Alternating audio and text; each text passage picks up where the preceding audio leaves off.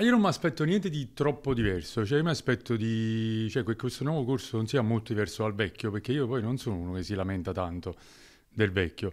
L'annata è cominciata male, ma poi dopo è proseguita bene, tranne quel piccolo momento in casa col Giuliano e poi a Picerno.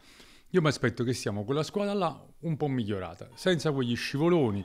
Togliamo le prime tre partite, noi staremmo quasi a pari con lo, con lo Stabia.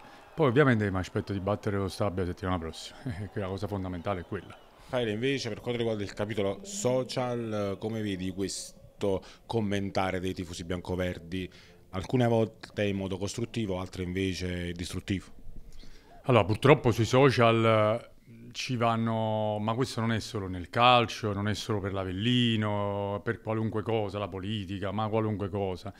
Ci vanno più gli scontenti che i contenti. Io sono convintissimo che la maggioranza dei tifosi dell'Avellino è una maggioranza molto sana, molto tifosa. Chiaramente se uno guarda i social vede a volte delle persone che si lamentano, che si piangono addosso. Quando va bene si piangono addosso con vittimismo, eccetera. Io su questo cerco di intervenire dando sempre un punto di vista un po' più ottimista. Noi siamo lupi, dobbiamo essere orgogliosi, fieri di quello che siamo, anche quando ci sono momenti negativi, anche quando ci sono le sconfitte. Quando ci sono le sconfitte, molti dicono: Ah, la Serie A. Io sono uno che la Serie A l'ha vista tutta e vorrei dire ai giovani: guardate che in Serie A si perdeva. Cioè, quando uno si salva all'ultima giornata o a due giornate alla fine, vuol dire che la maggioranza delle partite le perde, però non piangevamo. In corsa alla Juve Stabia, 8 punti da recuperare, ci credi?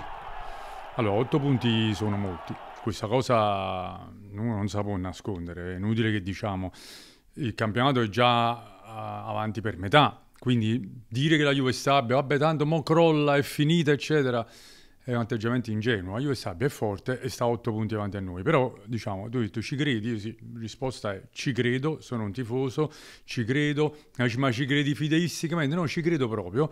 La cosa fondamentale sarebbe tentare di arrivare ancora a meno 8 allo eh, scontro con loro, perché chiaramente loro giocano in casa con Monterosi, quindi vorremmo vincere a Latina. Comunque, anche se non dovessimo arrivare a meno 8, la cosa importante è vincere con loro, vincere e mi verrebbe da dire anche stravincere, cioè magari mh, dimostrare sul campo di essere più forti, magari fare più di un gol di scarto in modo da avere gli sconti diretti in vantaggio. Diciamo che se fra dieci giorni siamo a meno 5 con gli sconti diretti in vantaggio, con tutto un giro di ritorno avanti, perché non dovremmo crederci?